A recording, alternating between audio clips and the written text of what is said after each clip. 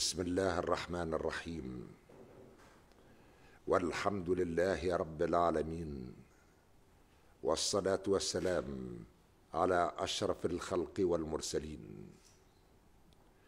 يقتضي الواجب في البداية. التوجه إليكم جميعا بالشكر والتقدير لشعوركم العميق المفعم بالمسؤولية الوطنية التاريخية. فكلما دعي أحد منكم في الأيام القليلة الماضية لتحمل مسؤولية في الحكومة إلا واجابه مقبلا صادقا غير مدبر أو غير متردد أنه جندي من جنود تونس لمواصلة حركة التحرر الوطني والحرب ضد مفسدي الأمس ومن التحق بهم في شبكات الفساد والإجرام. قبلتم كلكم بهذه المسؤوليات مؤمنين ثابتين مرابطين من أجل غد أفضل. ينعم فيه كل تونسي وتونسية بالحرية وبالشغل وبالعدل وبالكرامة الوطنية. وقد يقول قائل صادقا كان أو من غير الصادقين. أن هذا التحوير الوزري يأتي قبل موعد الانتخابات الرئاسية ببضعة أسابيع. ولكن ليفرق هؤلاء الذين نستمع إليهم كل يوم وهم من المفترين الكاذبين. ليفرق ويميز بين الدولة وأمنها القومي والسير العادي لدواليبها وبين الانتخابات. ودواليب الدولة كما تلاحظون بدون شك تتعطل كل يوم. ومن لا يزال في غيه وفي أضغاث أحلامه وفي نواياه الإجرامية يعمل على تأجيج الأوضاع. لغايات انتخابية مفضوحة.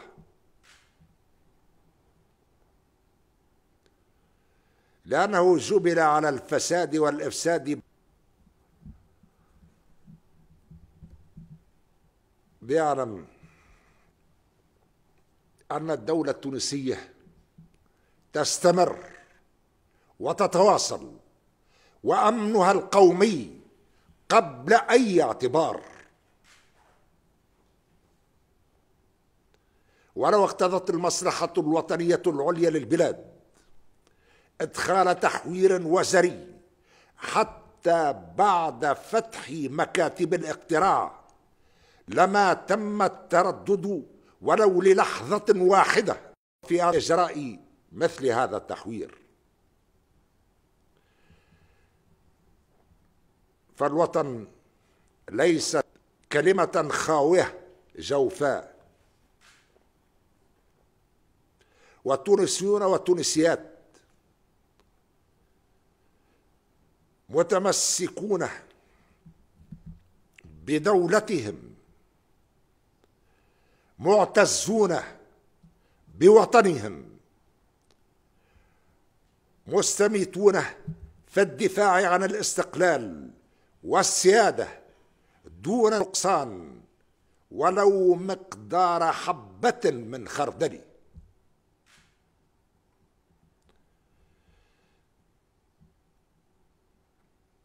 وقد كان تم الاختيار على عدد من المسؤولين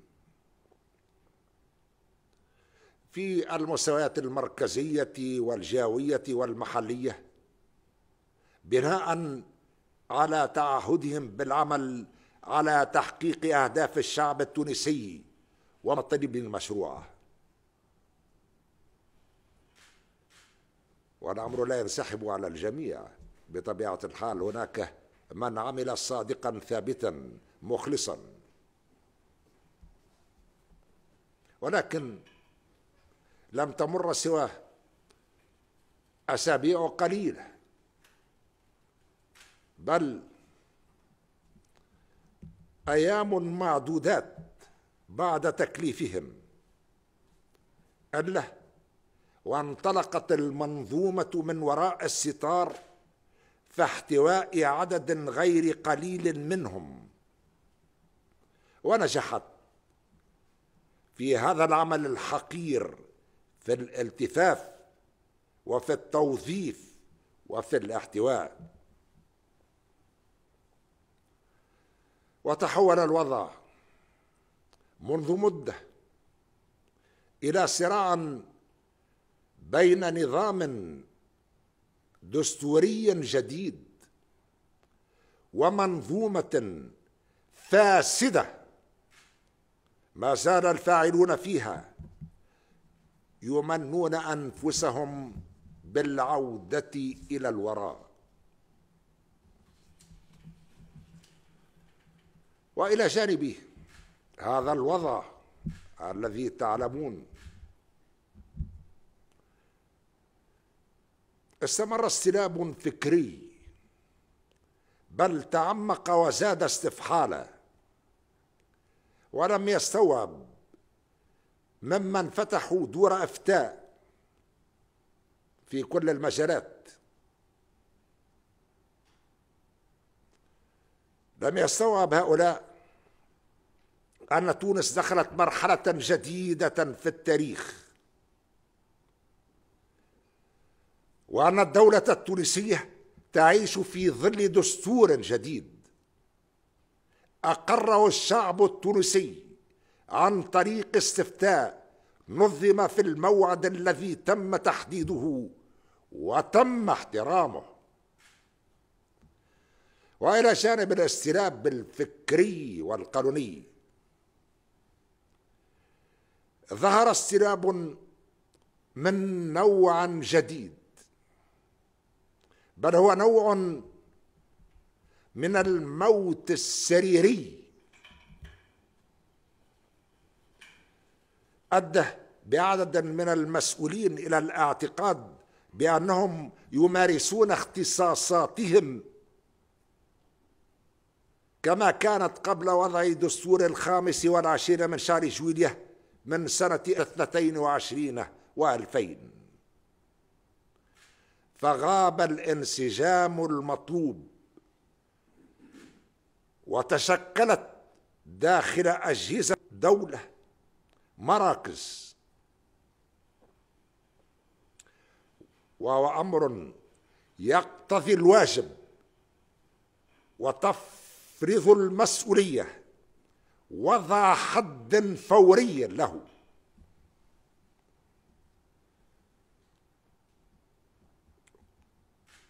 ولينظر الجميع اليوم في نص دستورنا الحالي أن الوظيفة التنفيذية يمارسها رئيس الجمهورية بمساعدة حكومة يرأسها رئيس الحكومة. فالوزير هو للمساعدة وليس وزرا. أو يمكن أن تكون له اختيارات خارج الاختيارات التي يضبطها رئيس الجمهورية. ومن مظاهر تعثر السير الطبيعي لدواليب الدولة في المستويين الجهوي والمحلي عدم تحمل عدد غير قليل للأسف.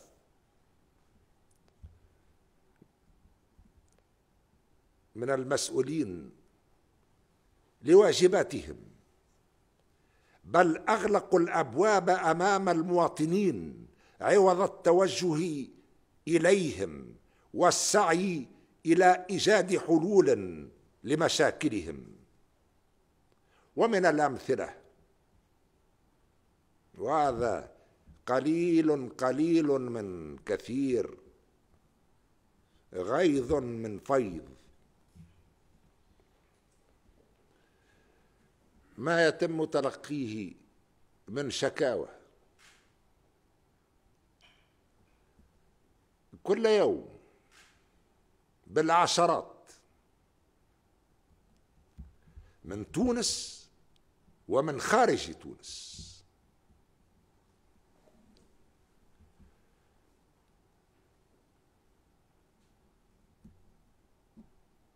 كان من المفترض أن يقوم هؤلاء الذين تولوا المسؤولية في المستوى الجاوي وفي المستوى المحلي وفي الخارج مسؤولياتهم كاملة. لكن للأسف حينما تولى بعضهم السلطة أخذته العزة بها. ووضع أبوابا وأقفالا أمام المواطنين. وحصل في عديد المرات حين يتم قطع الماء أن أقل بالليل وفي الفجر مع عدد من السلط الجاوية والمحلية. لأنبهه إلى أن الماء تم قطعه في تلك المنطقة.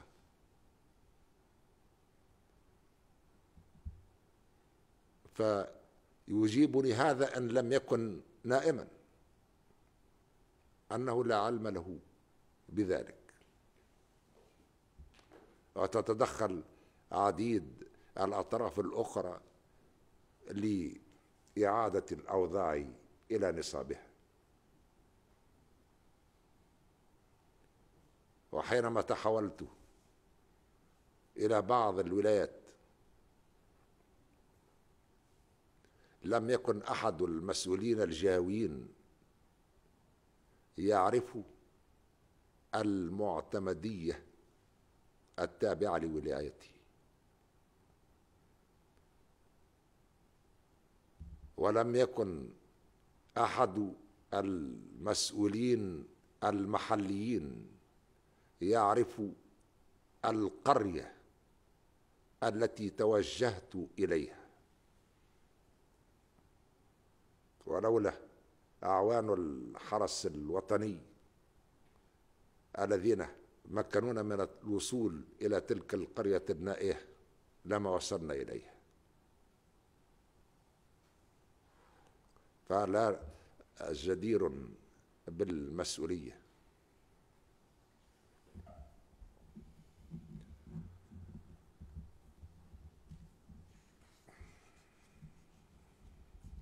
وتم التنبيه إثر التنبيه والتحذير تلو التحذير. ولكن الجواب التقليدي الجاهز الذي مجدته الاسماع ولم يعد يقبل به أي مواطن هو أنه سيتم تشكيل لجنة. هذا إذا تشكلت وبعد تشكلها تقوم اللجنة بأعمالها لتنشئ لجنة جديدة. واللجنة الثانية تعقبها في كثير من الأحيان لجنة ثالثة. والمواطنون يعانون البؤس والفاقة والحرمان. ثم أن الأموال مرصودة والمشاريع مفقودة.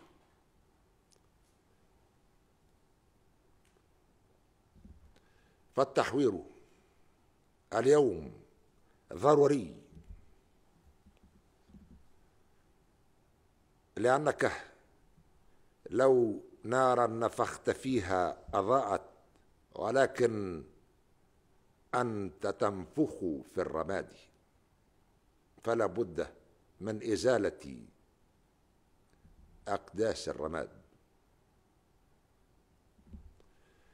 لما أستأخر اللحظة كما لم أستقدمها بل كان تأنيا وصبرا وألما. قال تعالى أصبروا وصابروا ورابطوا واتقوا الله لعلكم تفلحون. صبرت وصابرت. والله ولي التوفيق. كان العمل مضنيا.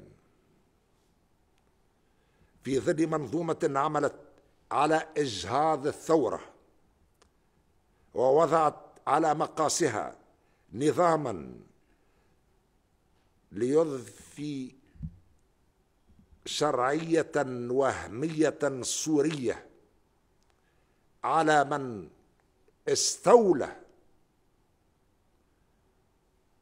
على الثورة على هذا الانفجار الثوري غير المسبوق.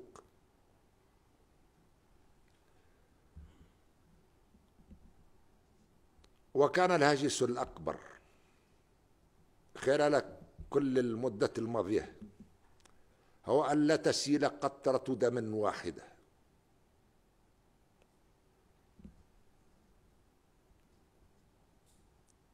لأن هناك من كان يهدد بإشعال حرب أهلية. وكلكم تذكرون ذلك.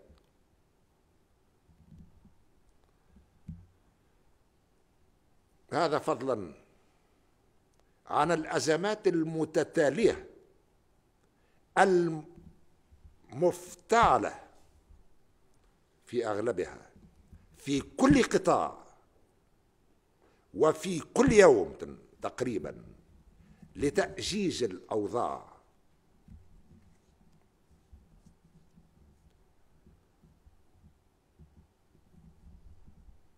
وكأن هذه المنظومة توجه رسالة مفتوحة مفادها الشعب يريد. أما نحن فنفعل ما نريد. ولكن أن لهم أن يفعلوا ما يريدون.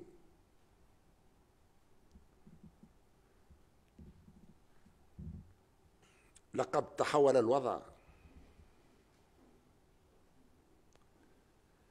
اليوم إلى صراع مفتوح بين الشعب التونسي المصر على التحرر وعلى العدالة وعلى الحرية وعلى مقاومة الفساد.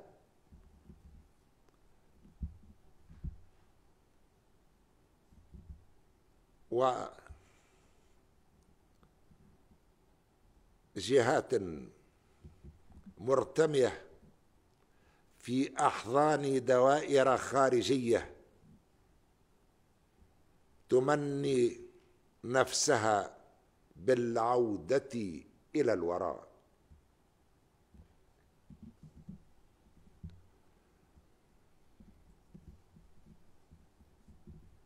هذا إلى جانبه.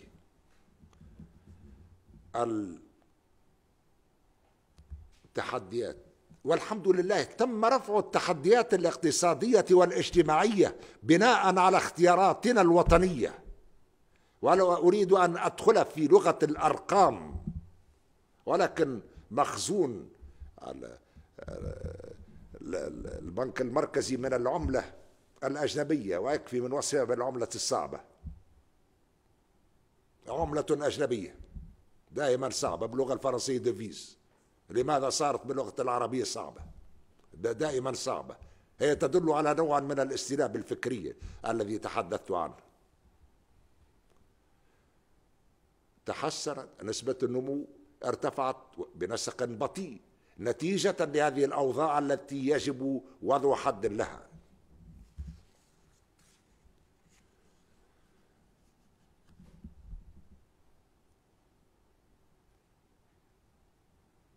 هناك نجاحات ونجاحات إن شاء الله قادمة.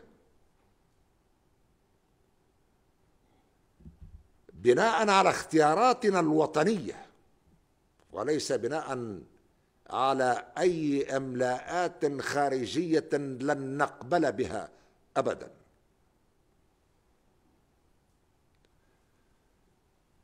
فليقلب الكثيرون صفحات الدستور.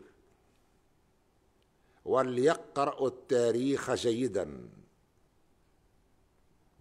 ليقرأوه جيدا.